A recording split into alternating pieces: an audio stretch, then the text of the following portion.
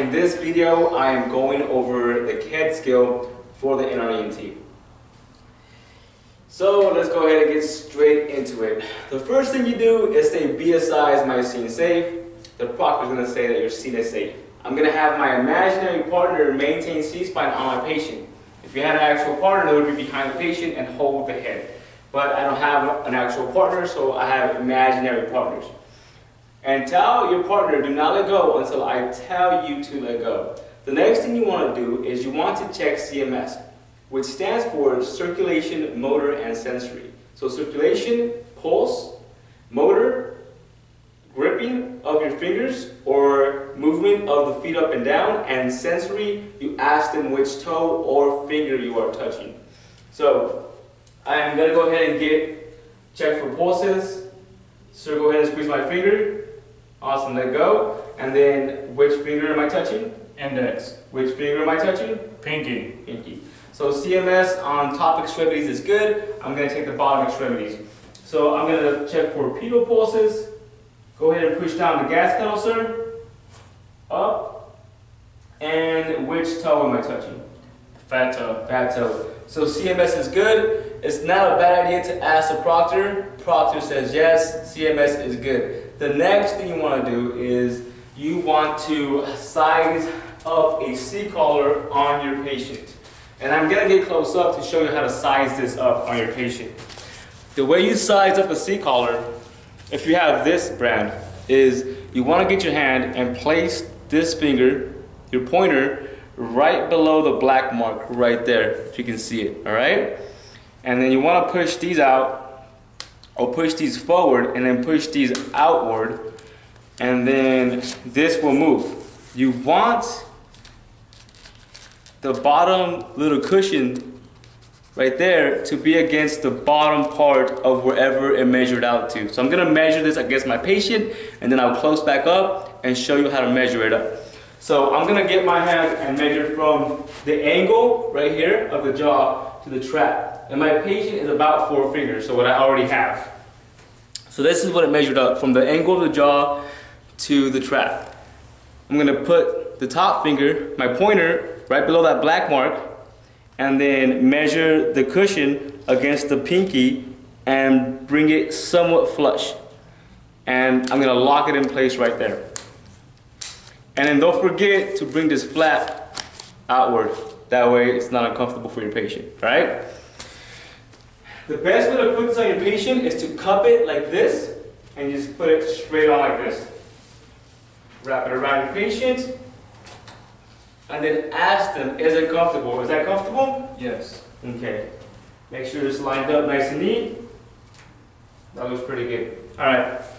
Now, you want to kneel beside your patient if it's appropriate. And you want to put your forearm against their, their torso as you maintain the head, okay? And on my, my partner's count, we're going to go forward. So one, two, three, let's go forward, forward, forward. Stop right there. My partner is gonna maintain C-spine while I get my KED ready. If I had an, an actual partner with me, I could maintain C-spine and my partner could get the KED for me, okay? And then we wanna put the KED behind the patient. Before you go back in place to move your patient backwards, Make sure that all the straps are outward, okay? Make sure they're all exposed. That's pretty good right there. And get back in place. On head count, we're gonna go backwards. So one, two, three, going backwards. Awesome. All right, so go ahead and put your arms out. You wanna get these flaps and shimmy it up. Go ahead and put your arms down, sir.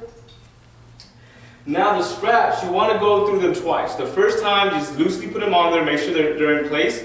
The second time, come around and make sure they're nice and tight. As far as the sequence, the sequence does not matter per the NREMT. As long as they're all on there, you're good to go. I teach from top to bottom because that's the easiest way to learn it. So I'm going to strap my patient down.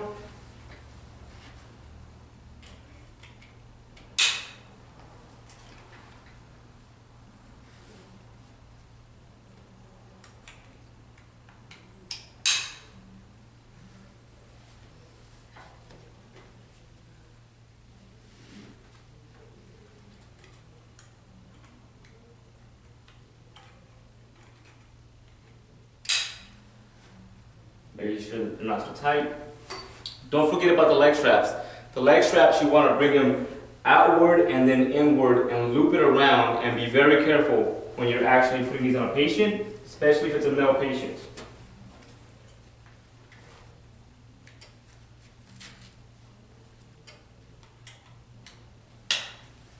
It's on there.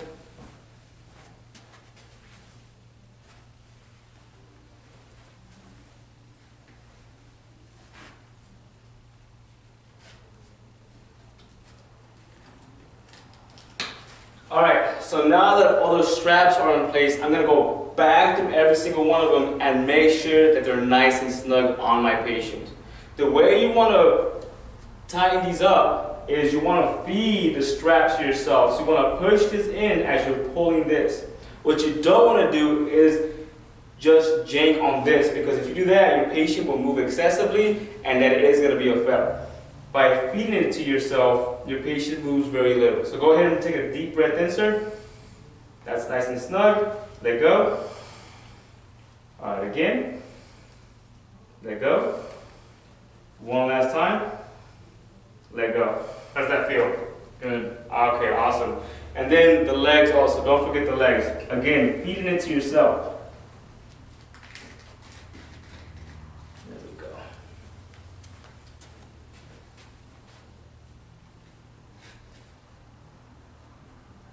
After all this is said and done, it's not a bad idea to go through it. Make sure that you can only fit two fingers in between the straps and the patient's body.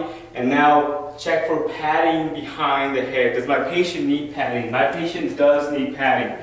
So I'm gonna go ahead and put this on my patient. I'm gonna go on this side because I have my straps over here. Go ahead and put your head a little back. It is, there are going to be some cases where this padding is not enough. In those cases, it is a good idea to just move your patient's head slightly back, not too much.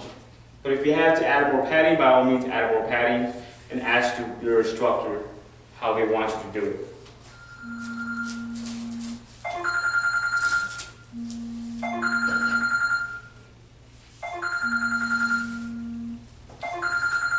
When you put these straps on your patient, you want to make sure that you have an X on the side. Now I'm going to go ahead and verbalize it. I'm moving my patient to the longboard, take off the straps, the leg straps, and I'm going to recheck for CMS. And you want to actually recheck for CMS. So again, I'm checking for a pulse on my patient. I got a pulse. Go ahead and squeeze on my sir. And then which finger am I touching? Index. Which one am I touching over here? Thumb. Go ahead and push down the gas pedal. Up. Checking for pedal pulses. And which one am I touching? Which toe? Uh, pinky. Awesome. Toe. And that's it for the entire scale. Thanks.